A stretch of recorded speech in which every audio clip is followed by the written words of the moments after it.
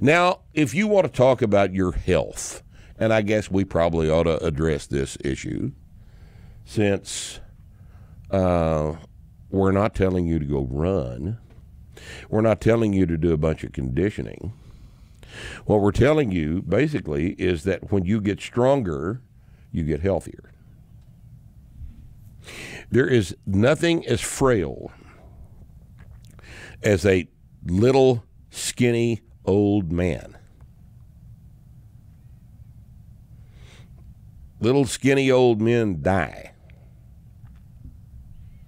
Little skinny 145 pound old man that runs gets pneumonia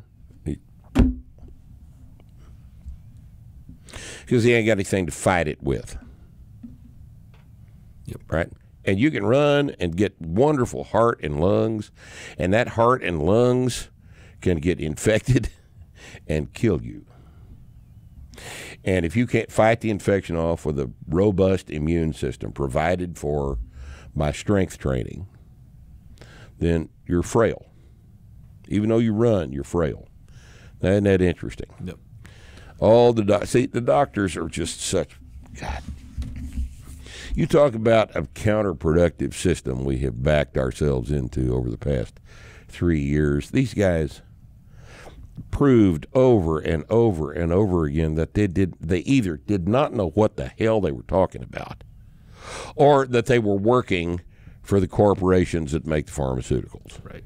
I don't know which is worse. Combination of both. Combination of both explains all of it. Yeah. But they did this to us. Don't assume they know anything about fitness. They don't have the slightest idea about fitness. You know? Yep. Yeah, the, the the sharper they are too, the more quick and apt they are to uh, cite studies in response to a question that you ask. That's not what you asked. You you asked a question about something pertaining to your health, and they they say something like, "Well, studies show." Blah blah blah bullshit bullshit bullshit. That's not what I fucking asked. What what is your opinion as a as a professional, as somebody who knows what the fuck they're talking about? What is your opinion? Now your opinion And, can and they may, you may get an answer out of the guy, but what that opinion is going to actually be is I'm of the opinion that I need to write you a prescription. Sure, for sure. That's my opinion. I need to write you a Yeah. prescription, and you need to do the conventional wisdom. You need to run, Right. or ride a bike, or walk. Take long walks. You know, go for relaxing long walks. Yep. That's all the exercise you need. You don't need to be doing deadlifts. That'll hurt your back. Right. Squats hurt your knees.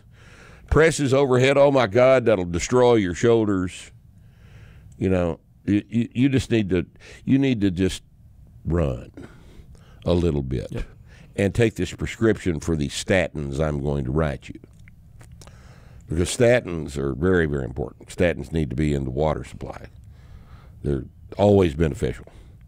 Well, yeah, doctor, but I, I took those for a while.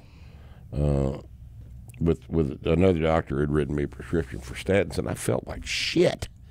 I felt like shit. I felt sick all of the time. I hurt all over. My muscles hurt. My joints hurt. Well, that's 'cause and your you want me to go back high. on those? yes, I do. That's because your cholesterol is high. It's not the statins. Yeah.